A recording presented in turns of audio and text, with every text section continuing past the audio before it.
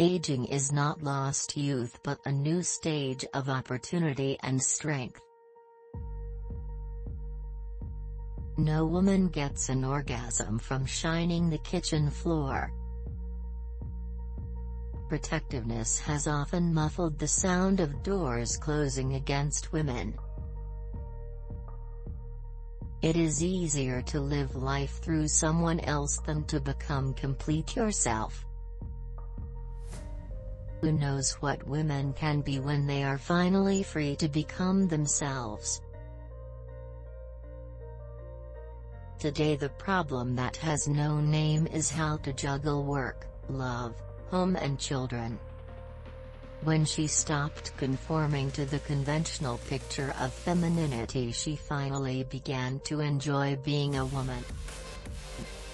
We need a new political movement of women and men toward a new society.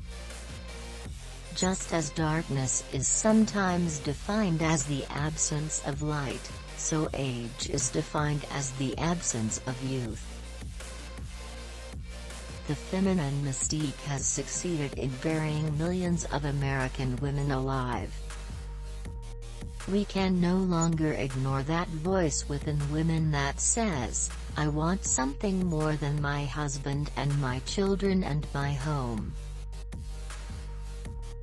The situation of women and men is not comparable to worker boss or black and white.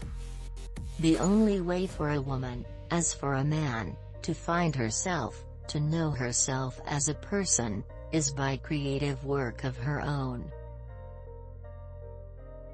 Aging will create the music of the coming century.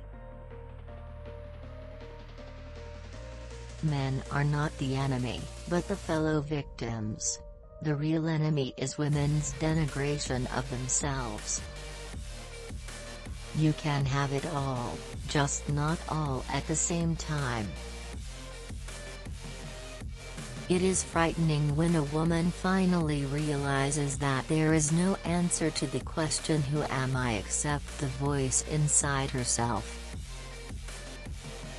Some people think I'm saying, women of the world unite, you have nothing to lose but your men. It's not true. You have nothing to lose but your vacuum cleaners,